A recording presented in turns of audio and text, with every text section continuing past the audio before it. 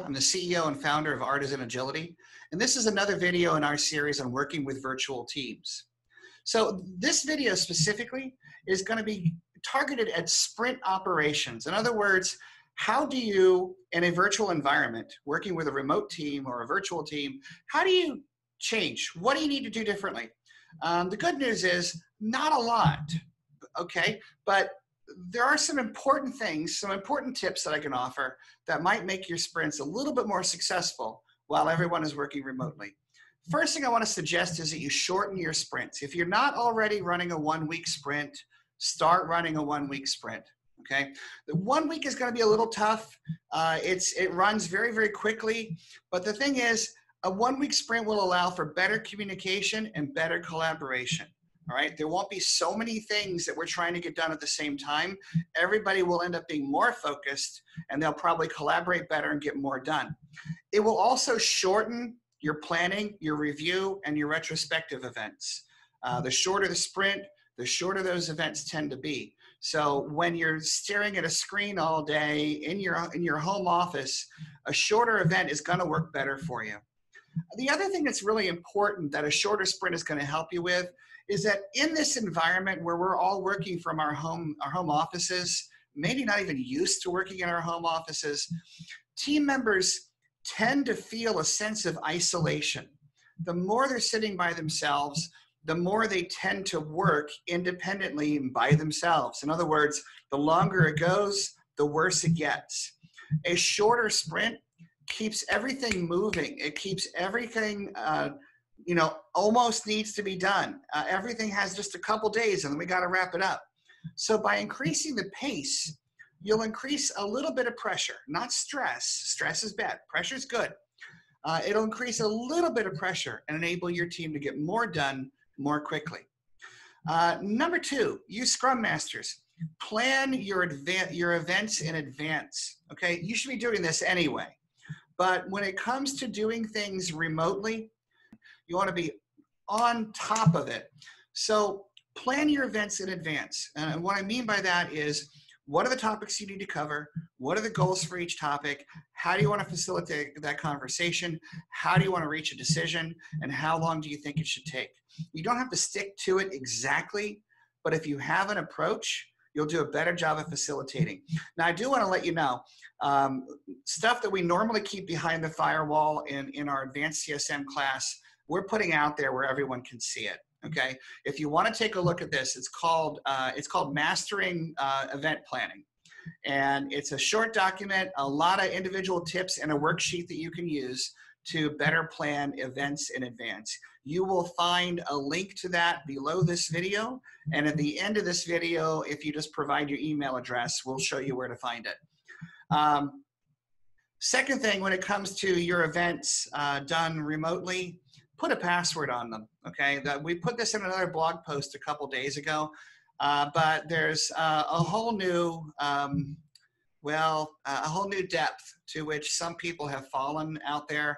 Uh, called Zoom bombing, uh, where they basically randomly select meeting IDs and jump into Zoom meetings.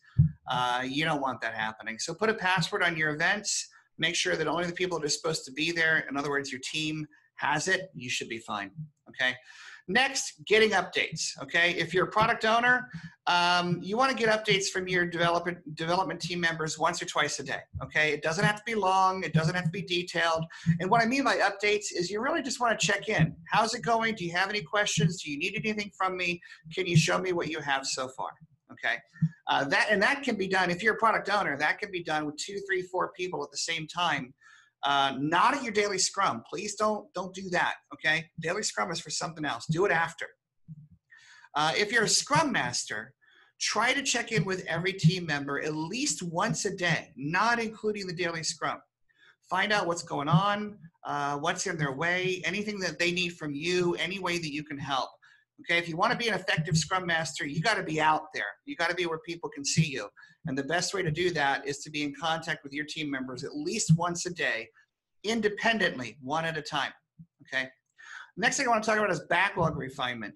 Uh, backlog refinement still needs to be done. Even in a virtual environment, nothing changes, okay?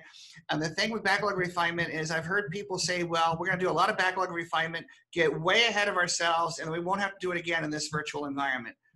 Bad idea, okay? Really, really bad idea. This is also where shortening your sprints is gonna help, okay? When you do backlog refinement, you only refine about a sprint or two ahead. So you're only refining about a week to a week and a half, maybe two weeks of work do it as you normally would do it. Okay, do it on your normal schedule. Now, if you're running a one week sprint, that means you're doing it once a week. So pick a day during the week when you can, for about an hour or so, uh, do some backlog refinement. Um, also, prepare for backlog refinement, mostly to you product owners. Um, make sure you know what's coming up next, that you know the answers to the questions that you're probably going to get asked. Make sure you're ready to answer those questions. If you can't answer those questions, refinement's going to be a waste of time. All right. Uh, sprint review. Okay. Uh, you might, I mean, in the Scrum guide, it suggests, actually, it says that the development team provides the demo of the product, and that's fine. I would recommend that the development team figure out who's demoing what in the sprint review before the sprint review begins. So, in other words, figure out what you're going to demo and who's doing which piece. And then when the sprint review begins, make sure that you are all ready to share your screen and demo your piece. Nothing will waste time faster in a sprint review than everyone having to figure out where they were, what they were doing, and how to get to where they have to be. Have it ready when the review begins. Do the demo first, then you don't have to worry about it anymore. All right. Uh, you might also consider just rotating, uh, having one person do demo everything this review. Next review, someone else can do it. Next review, someone else can do it. Uh, but by having by having one person do it, they share their screen and they run through the whole list. You don't have to go back and forth, different people sharing their screen. And when it comes to the retrospective, do not skip the retrospective, okay? It is more important now, even more important now, than when we're all together because we're not all together.